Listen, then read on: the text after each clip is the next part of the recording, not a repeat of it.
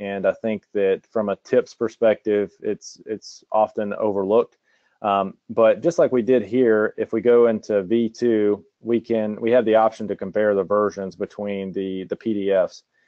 If we go here, I think this is missed frequently uh, under the 3D. That option doesn't exist for us here. So the assumption is that we cannot compare uh, one model to the other, and that's an inaccurate assumption. Um, for some reason, um, Autodesk decided to put this compare feature underneath the history section here for the models.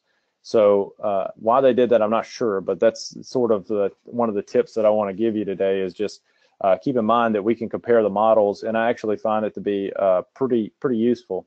So if I say uh, compare versions here, you'll notice that um, it's going to ask me which two versions I want to compare. And so if I had five or 10 in here, I could choose the first one compared to the, the 10th one, and uh, it would allow me to compare them. But I'm going to try to compare this, and this does, you know, require a little bit of bandwidth. So hopefully we'll be able to be able to do this um, over GoToMeeting.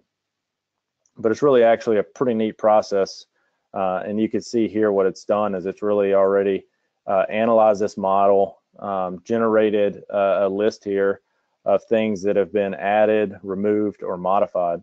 So now I can start to go through here and see uh, and filter and toggle this information on or off uh, really quickly. So let's just look at the model here and let's take the removed out of the picture and let's take the modified out of the picture.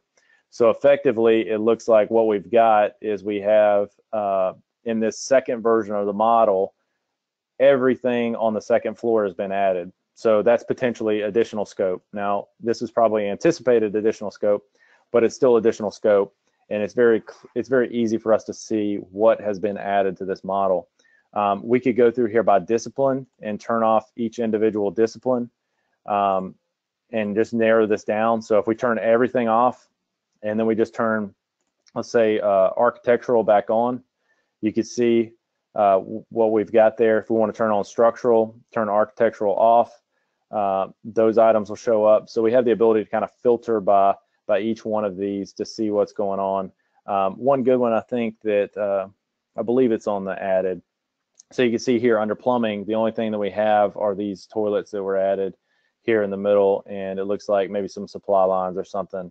Uh, or those, I guess those would be uh, drinking fountain. But we could supply, or we could find out by simply going through here. So you can see we could just walk through here and it's going to highlight what everything is. So this is a, a commercial lavatory uh, is what that represents. And uh, you can see it's just going to take us through each one of them, uh, zoom in on that one and fit the screen. So that's a way that we can actually look at this and review it uh, very quickly. You'll also notice that this is our only option is just to navigate from one to the other. If we go back to this page here, um, let's turn off the added and let's look at the removed. So We've got the removed listed here. Now keep in mind it's showing two of 17 and that's primarily because I'm only showing the uh, plumbing. So let me turn all of these on so that I can capture all 17 of these. And you'll see these are the things that were removed from this project. So again, I can click over here.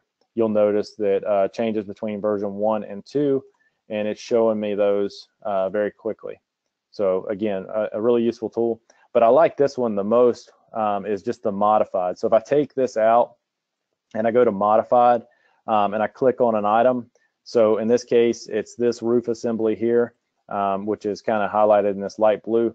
Uh, the neat thing to me is that I can quickly toggle between what that was in version one and what that was in version two.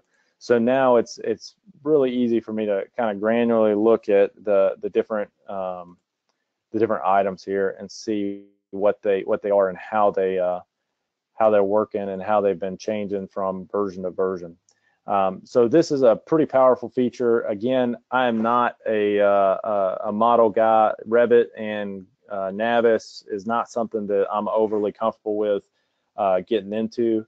So me having the ability to go in here and analyze this very quickly from a web browser without any expensive license or uh, desktop application to do this on uh, is is really a cool feature uh, to to give me access to to this level of uh, the model, I guess, that I wouldn't have otherwise.